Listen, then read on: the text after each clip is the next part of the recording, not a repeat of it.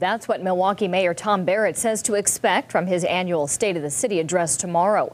The mayor held final run throughs at the Hmong American Peace Academy today. He also briefed reporters on some highlights from his address. He'll outline some of the challenges facing the city, things like crime and public safety, but says there's also positive news on health care, education, and job growth. At the end of 2015, there were more Milwaukee residents that were working than at any point since 2001. Uh, and that's really good news for the people in the community. We're also going to be talking about some education initiatives. The address begins at 8 o'clock tomorrow morning. Look for a full recap tomorrow night on WISN 12 News.